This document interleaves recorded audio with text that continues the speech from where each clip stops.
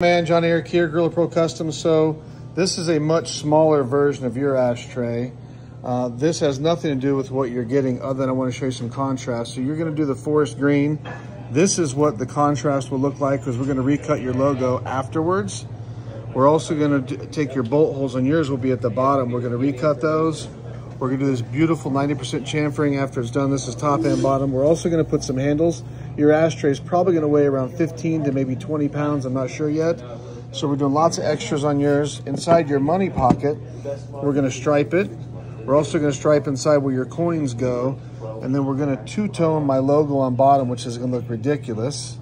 And then we're also gonna do this. We're gonna do exterior striping like this. This brick was completely black. We went back and cut this afterwards, so you can't even tell it comes apart. There's no way to tell where that comes apart. Well, I can tell because I, I made it. But on yours, we're gonna make it pretty much invisible so nobody